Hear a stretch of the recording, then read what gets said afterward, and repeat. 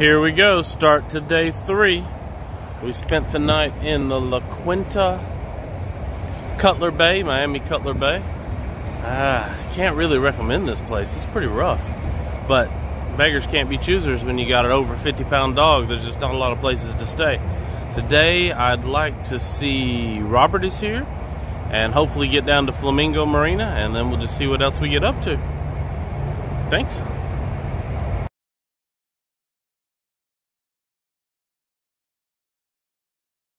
We are at Robert is Here's fruit stand, our first stop.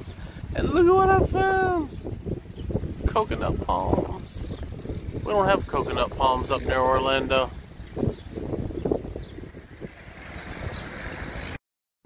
Okay, this is Robert is Here fruit stand. Let's check it out.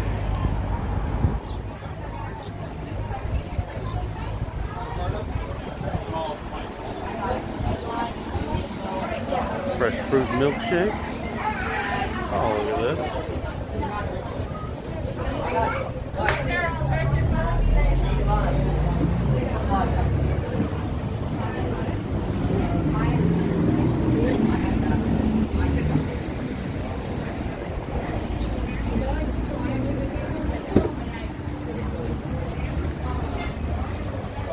Fresh sugar cane.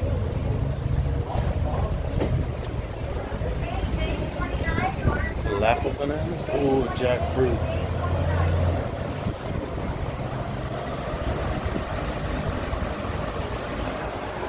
Fresh big water coconuts. I want one of those.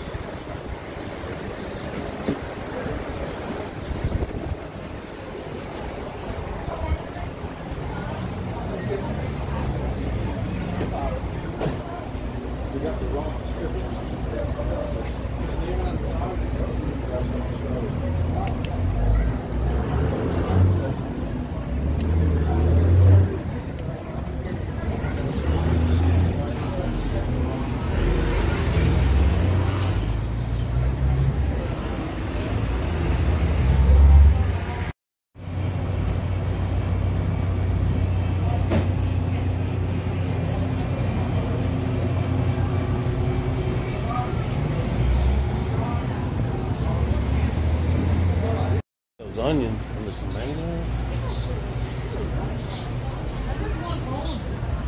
Oh no, me too.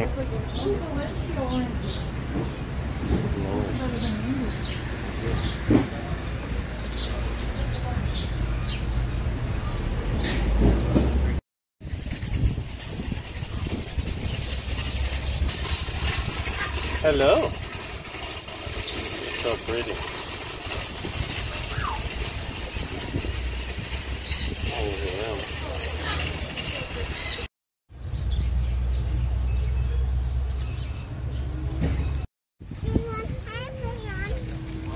Wait, wait, wait.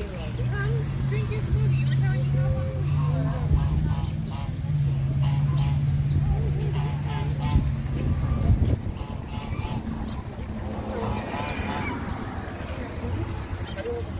Well,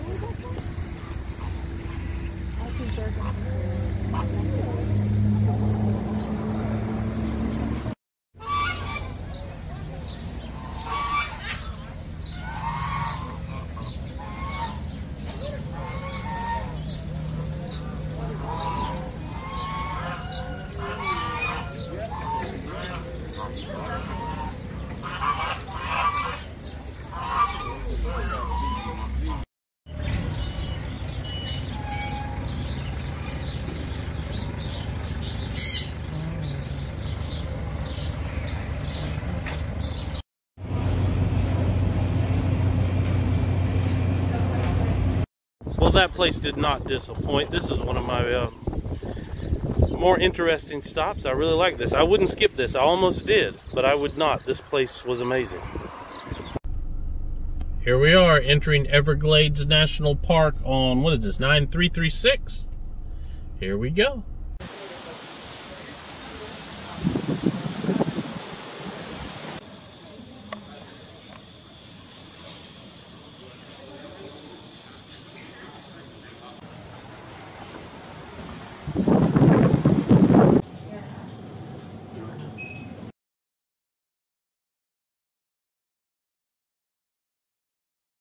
Okay, when we went through the park ranger check in, she said there was a missile site open house today, and I really want to see it. Nike Missile Base open house 10 to 2. Restricted area. Wow. Stop Okay, so I uh, stopped that park ranger right there and just asked him. We're allowed to just drive around and look around. This is amazing.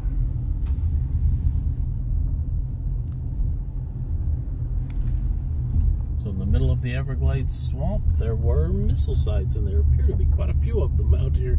You can see the mounds all around.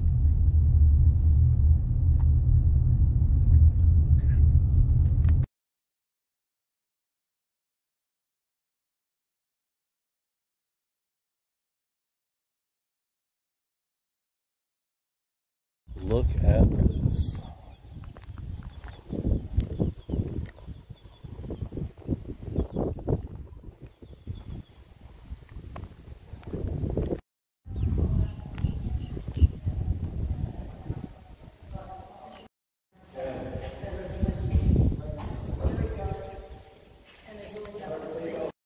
Miami area. Are you familiar with Miami area at all? Well, there were four batteries around this area. Each of them had eighteen missiles tested at the time. And they set up there for almost two years. Okay, so here was the deal 36 missiles here from 1965 to 1979. They started building in 62. They were not underground, of course. The, they were in barns like this, in bunkers, with earthen mounds built around them. And they would keep three missiles in each barn.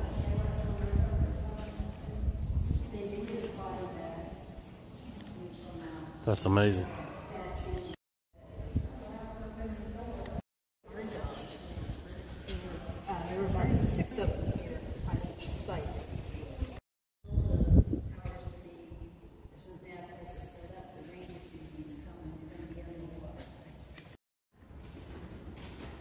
That's really cool. That's the uh, warhead.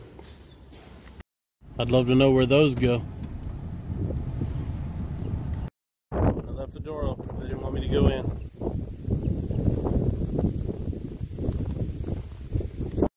That is awesome. And lead paint.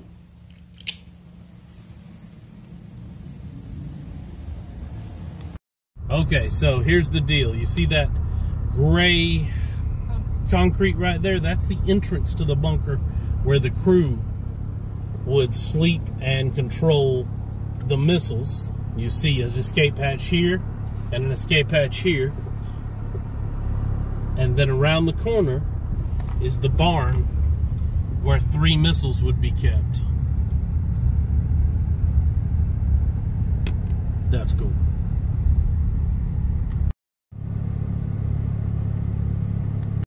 Check out this hole.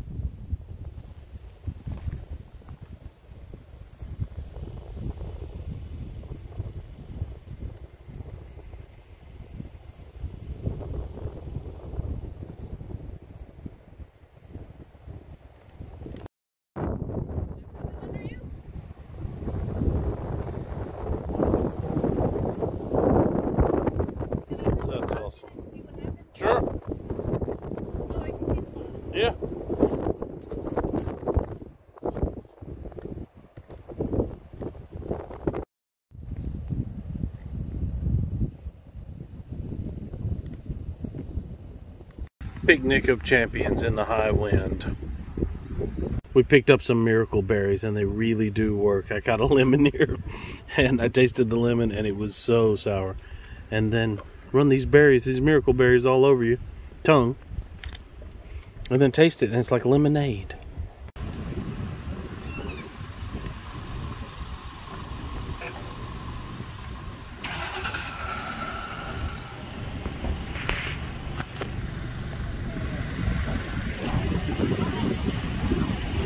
mosquito stuffed toy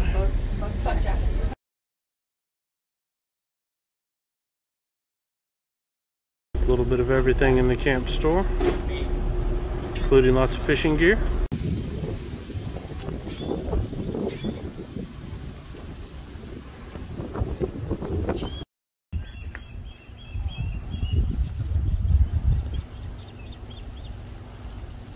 Mama, a couple of babies, and they've got a fish in there. Big one.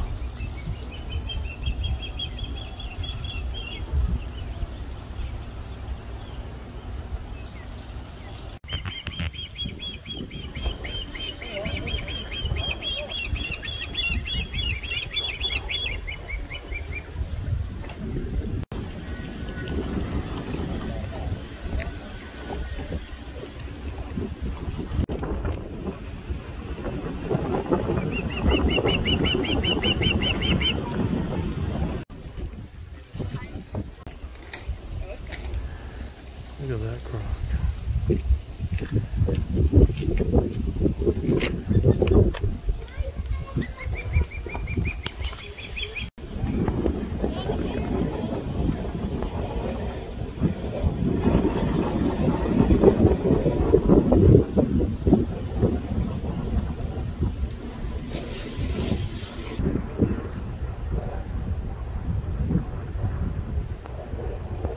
Wow, he is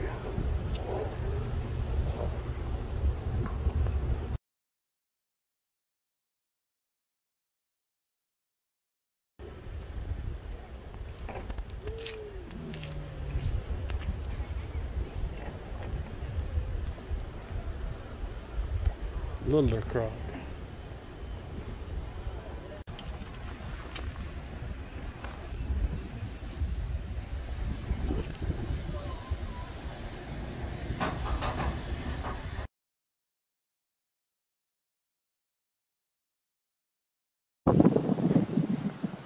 Well, this has been a wonderful day. I've almost got my trifecta.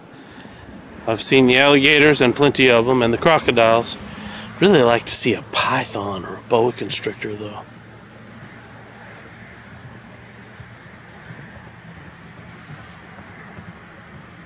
These are dwarf cypresses. I think they can be hundreds of years old and still be small. So, the end of day three.